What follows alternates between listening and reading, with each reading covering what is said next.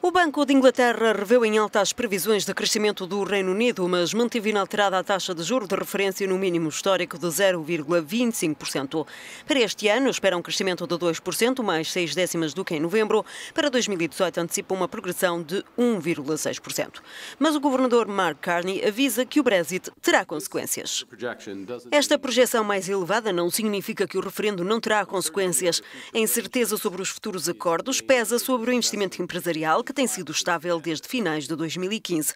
Nos próximos três anos, este investimento empresarial deverá ser um quarto inferior ao previsto antes do referendo, com consequências para a produtividade, os salários e os rendimentos.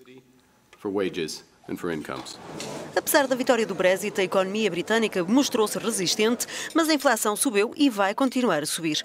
O Banco Central prevê que a taxa atinja os 2,8% em 2018, antes de recuar ligeiramente. Mark Carney adianta. O caminho do Brexit está apenas no início. O percurso é claro, mas haverá altos e baixos. Quaisquer que sejam os acontecimentos, a política monetária será definida de forma a que a inflação regresse à meta sustentável, enquanto apoiamos os ajustes necessários na economia.